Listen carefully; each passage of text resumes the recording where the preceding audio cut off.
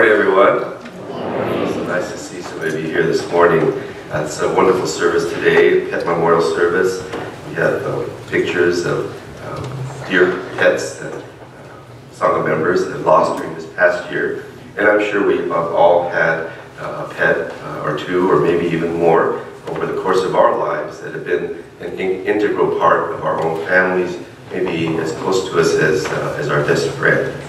So I'd like to talk a little bit about a couple of pets uh, in my life over the, over the course of many years. And I want to talk about the very first pet dog that we had on our family farm. I grew up in Oregon in a small rural community. My dad was a farmer and there was a stray dog that just came onto our farm. You know, in the rural area, sometimes there'll be cats and dogs that will just kind of come your, your land, onto the farm, and kind of make themselves at home. So there was this, this uh, stray dog, kind of a short dog, and at first as kids, you know, myself and my cousins, we kind of tried to chase it away. It kept coming back, kept coming back, and so we let him stay, and then became our beloved pet. We named him Shorty because he was a real short dog with short legs. Soon Shorty became the watchdog farm. Whenever a strange car would come into the farm, then Shorty would bark. But Shorty never barked for our cars or one of our workers' cars. He knew the difference. So it's really good to have a watchdog on your family farm. So we grew up with Shorty during my elementary school years. But Shorty got uh, older and he got weak and, and he was dying. I remember we were trying to help him. We knew he was uh, kind of sick and, and maybe he might die. And my cousin was on some kind of medicine from the doctor. I even snuck in and got one of her pills and I was trying to feed, feed the medicine to Shorty to see if it could help him. Uh, fortunately, I guess maybe he didn't take it, but uh, we, we were all doing what we could to try to keep Shorty alive. But as we all know, our pets cannot live forever, and especially they do not live as long as we humans, and one day Shorty died. But on our farm, you know, a farm's busy, we have many workers, and especially at harvest time, it's so busy. When Shorty died, the whole farm stopped all work stopped. And we, and my dad and workers, we all gathered and we had kind of an orchard just for our own uh, fruit to eat next to one of our fields. So we, we buried Shorty in the orchard. And two of our workers dug his grave and we placed Shorty in his grave and you know we all said goodbye. The whole farm stopped. It was the first funeral that had a real impact on me. And it was the funeral or uh, burial of our beloved dog, Shorty. So I'll always remember uh, that experience and sort of making me realize what really is his life, what is really life. The second pet I want to talk about is another dog that we had, and this is when I was a more high school, college age, and his name was Spot. He didn't have a single spot on him. I don't know why we call him Spot.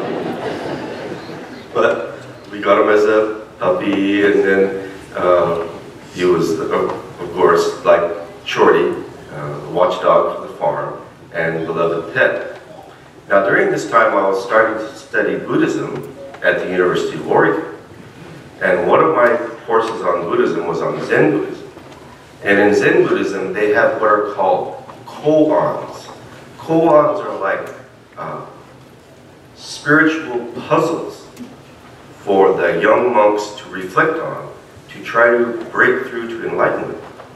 For example, one of the famous koans is, what is the sound of one hand clapping? What does that mean? the sound of one hand clapping. So you're supposed to think of this, and, and then you have to go in front of the Zen master and give your answer. Another famous koan is, does the dog have Buddha nature? Does the dog have Buddha nature? So let's say I was a, a Zen, young Zen monk, and I'm training, and the Zen master gives me this koan. Does the dog have Buddha nature? That is your koan. So I have to go in front of the Zen master. He says, what is your answer to the koan, does the dog have Buddha nature? I say, well, yes, I think the dog has Buddha nature. Wow, he hits me over the head with a stick. Wrong answer. Oh, gee. Come back tomorrow. So I meditate some more. Next day, go back. What is your answer to the koan? Does a dog have Buddha nature? So I think to myself, well, yesterday I said yes, and he hit me with a stick. No, the dog does not have Buddha nature. Wow, hits you with a stick again. Gee, I say yes, he hits me. I say no, he hits me. What is the answer? It's not a yes or no answer. That's, that's the tricky thing about these koans. Something has to come from you that shows your, your religious understanding. For example, like the sound of one hand clapping. I don't have an answer to that, but I heard a very enlightened answer. Sound of one hand clapping is this. We pat ourselves on the back. We become arrogant and so proud. You know, that's a very enlightened answer, I think. So let's say I heard this from someone, oh, that's a good answer. I'll, I'll give that answer to the Zen master. What is the sound of one hand clapping? Whap! He hits me over the head with a stick. But he said that was a good answer for that other guy. No, that was his answer. That's not your answer. See, so it has to be, it has to come from you, and the Zen master could tell whether you're copying someone else's answer or if it comes from your being. So I was reflecting on this koan, does a dog have Buddha nature? When I would go home from school holidays, and our dog Spot, you know, would this Spot have Buddha nature? He can't listen to the Dharma, he can't read books on Buddhism. Does Spot have Buddha nature? And then one day, Spot did uh, kind of a bad thing. He chewed up one of my dad's slippers, so I scolded him, you know, don't do that, Spot. So I scolded Spot, and he ran away, you know, kind of hid for a little bit. About one minute later, Spot comes back, and, and he wants to play, and he's jumping on my lap, and, and, and I thought, wow, I just scolded Spot a minute ago, and right away he forgets about it, he wants to, he wants to be friends again. Am I like that? No.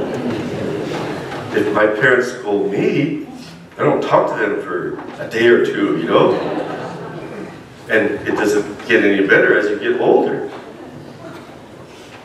You know, people think that someone who is enlightened, like the Buddha, never gets mad.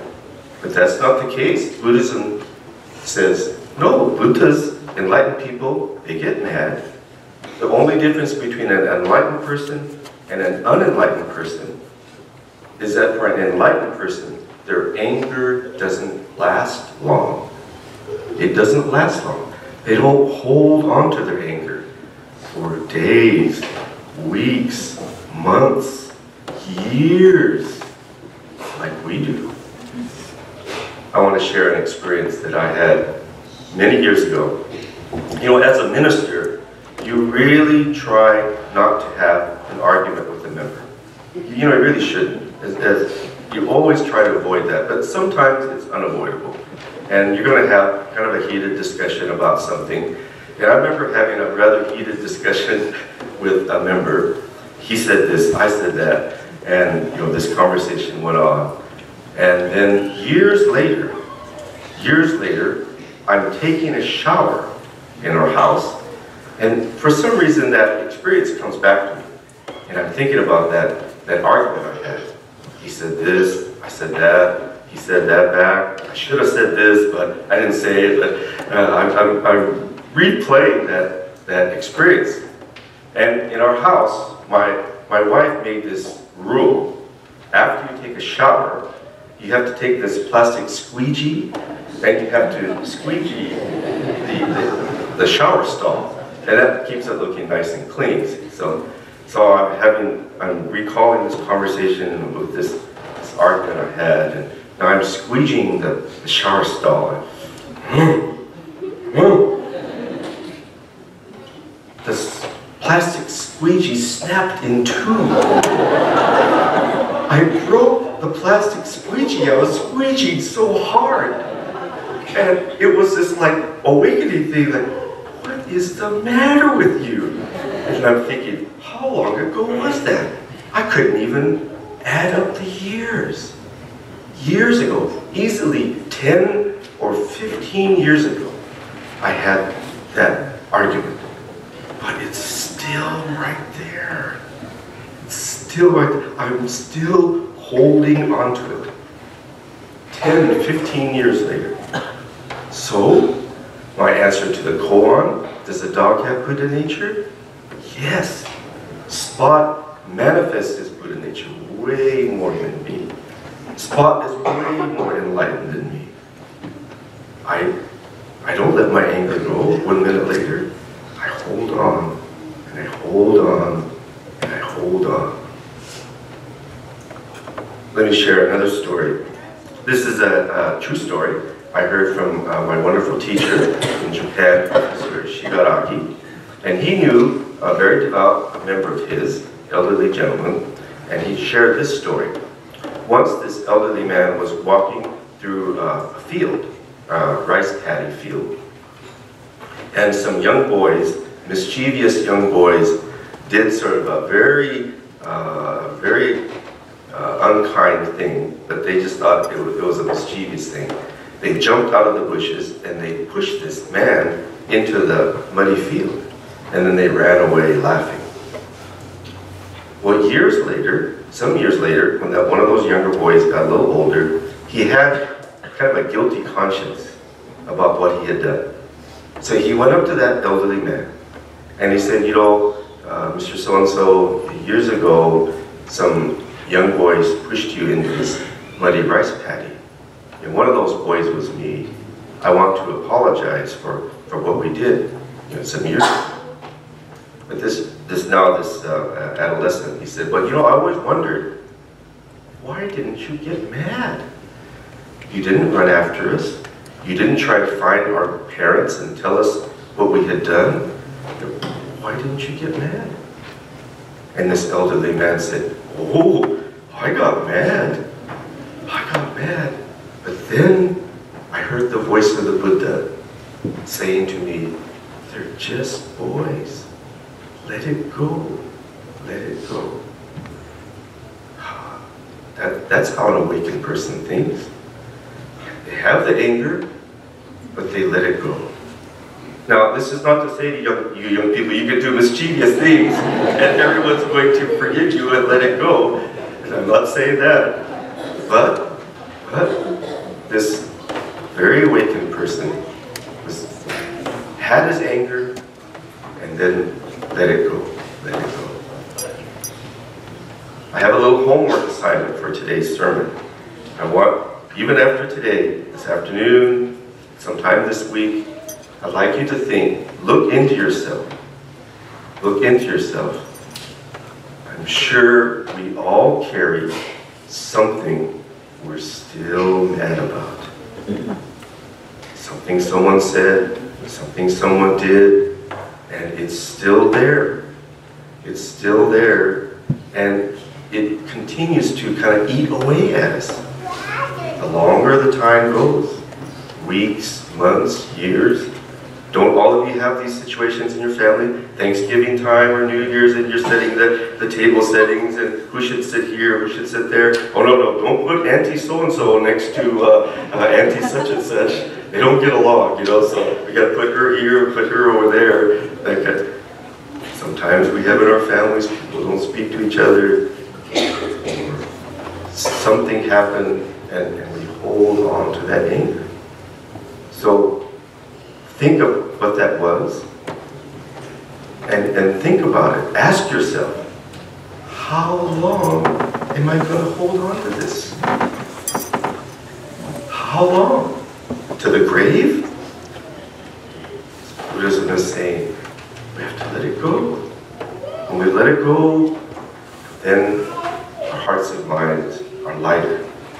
And we find that when other things that happen to us, when we're angered, sure, we're going to get angry, but we can let it go.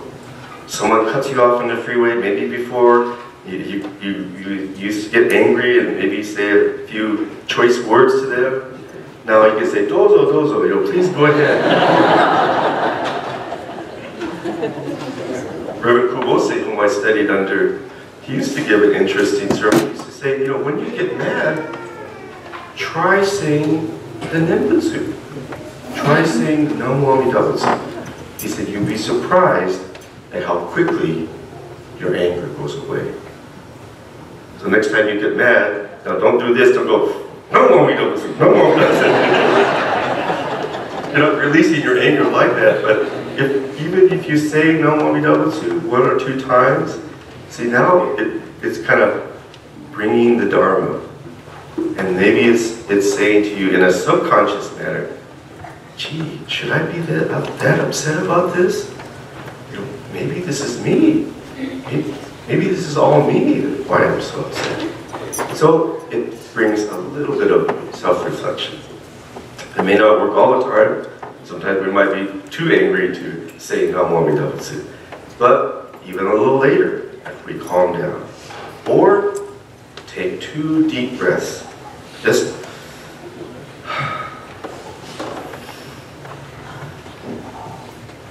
just two deep breaths.